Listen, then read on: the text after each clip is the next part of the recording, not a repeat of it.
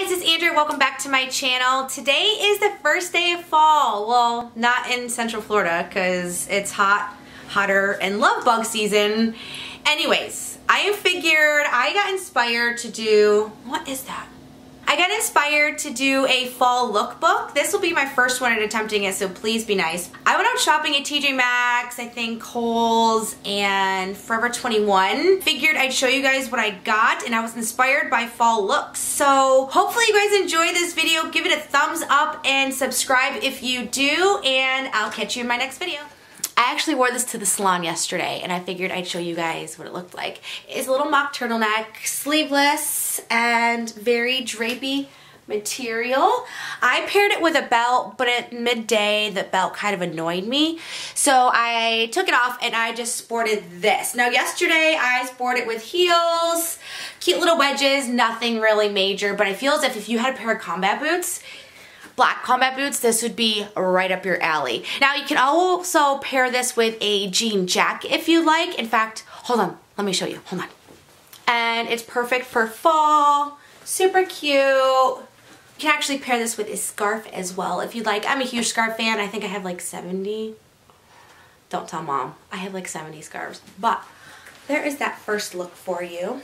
Here is look number two. I found this dress also at TJ Maxx. This is a black and white, it's almost like a cream actually color midi dress and it goes down just below the knee. So if you guys aren't familiar with what a midi is, it goes down to right below the knee. Um, I'm shorter, so that's why I kind of have it wrinkled up here. If I was a little bit taller, I felt I would feel as if it would look right on me. But if I were to pull it all the way down, it would hit my shins, and that's just not a cute look. Now, being in here in Florida, I can probably rock this dress probably until November, December, if I'm lucky. But I could pair this with a black cardigan if I wanted to. I could put a little vest with it.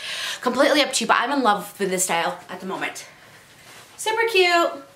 And here is look number three. I am obsessed with this outfit. I wore this to the salon the other day and got so many compliments. I found this t-shirt from Forever 21. They had a sale last week, I do believe, and I think I picked this up for $7 and super cute. You can tie this in the bow, let it go. I kind of just let it do its own thing. And then I picked up these pants, which I feel as if if you guys don't have any, you really need to invest some. These are a good pair of joggers. And I'm not sure if you guys know what, are familiar with what joggers are, but here you go. Kind of like those pants that kind of hit your shin super loose up here. These are small and might actually be a little too big for me, but they were on sale. I think I got them for $7 from Kohl's. I paired the this outfit the other day with a cute little pair of kind of like lace up kind of wedges. I love wedges. Heel. I'm obsessed with this shirt. Can you guys even see what the epicness I'm talking about? And here you go guys, this is the last and final look. I'm obsessed with this look.